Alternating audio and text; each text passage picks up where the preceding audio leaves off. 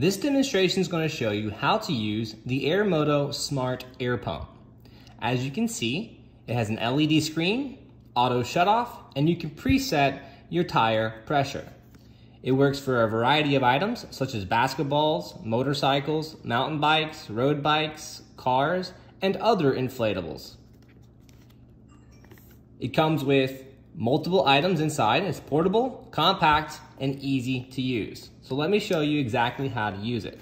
Simply slide this off. We're gonna take the plastic covering out. As you can see here, this is the user manual. The Airmoto itself. We'll take the little plastic film off.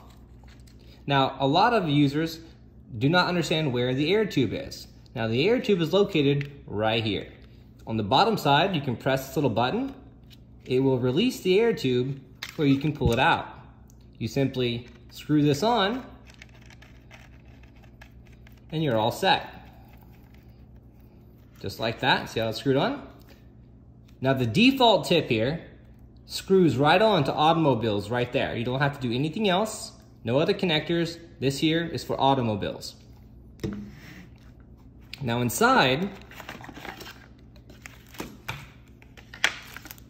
you have your charging cable and additional connectors for basketball and Presta valves. And right there's the plastic nozzle for a variety of items. This is also your protective carrying case. So let's demonstrate how to actually turn on and use the Airmoto. Right in the middle is the power button.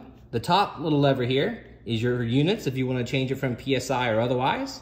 The bottom here, you can adjust it for cars, uh, bicycles, basketballs, and other presets.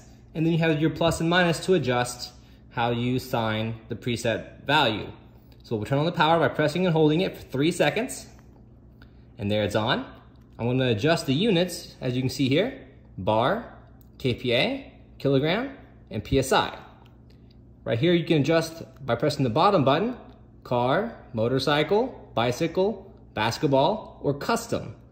So in this case, car is already preset to 35. Bicycle's preset to 40.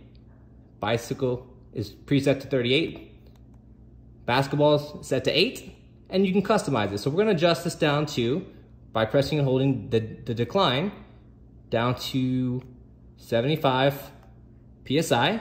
To turn it on, all you do is attach this to your car and press the power button in the middle. And that's it. Once you're finished, you press and hold the power button for three seconds. And it turns off. You simply unscrew the air tube. It slides right back into here.